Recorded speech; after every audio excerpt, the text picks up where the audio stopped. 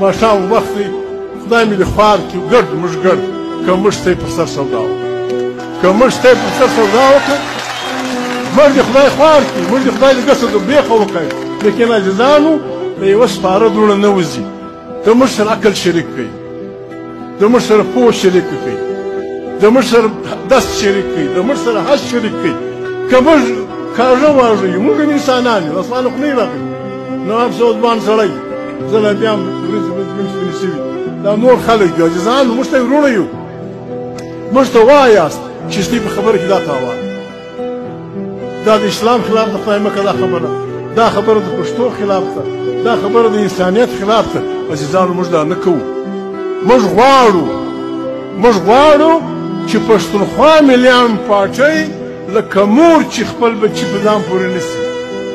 موږ د پښتونخوا ملیان پاټۍ سره داسې یو مور جوړوو چې هغه د وطن ټول ښه او بدګر په غېږ پورې ونیسي